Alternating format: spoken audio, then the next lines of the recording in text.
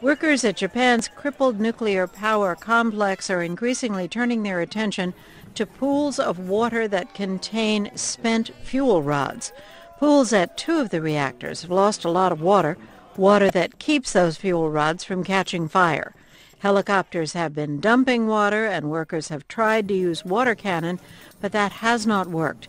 NPR's Christopher Joyce is in Tokyo covering this effort and he joins us now. Chris, good morning. Good morning to you. Chris, this idea of dumping water from helicopters, it sounds a bit desperate. Uh, what, what happened? Uh, it was desperate, and it didn't work.